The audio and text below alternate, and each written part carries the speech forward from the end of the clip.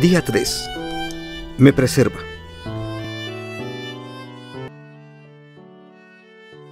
Me preservará de tal manera que sin la voluntad de mi Padre en el cielo, ningún cabello de mi cabeza puede caer.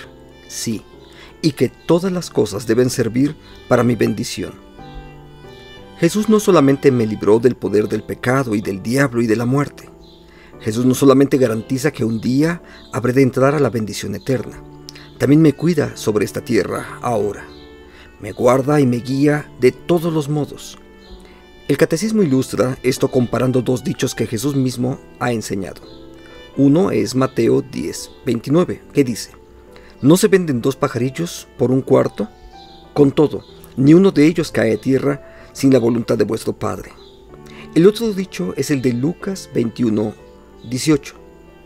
Pero ni un cabello de vuestra cabeza perecerá. Aquí, Dios el Padre es introducido por primera vez en el catecismo.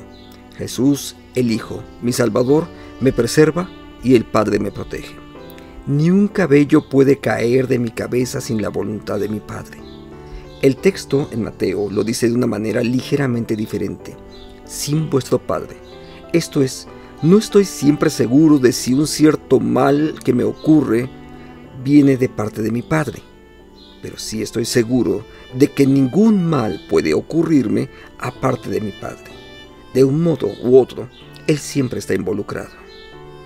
No estoy siempre seguro de si es Él quien causa que vaya a través de un valle de oscuridad, pero estoy siempre seguro de que Él va a mi lado por ese valle.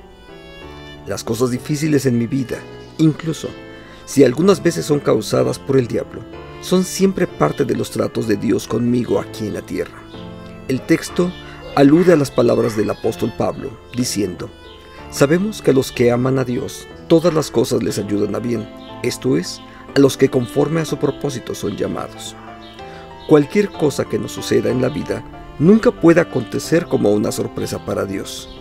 Por el contrario, las usa para alcanzar la gran meta de nuestra vida terrenal, es decir, adorar a Dios y ser conformados a la imagen de Cristo.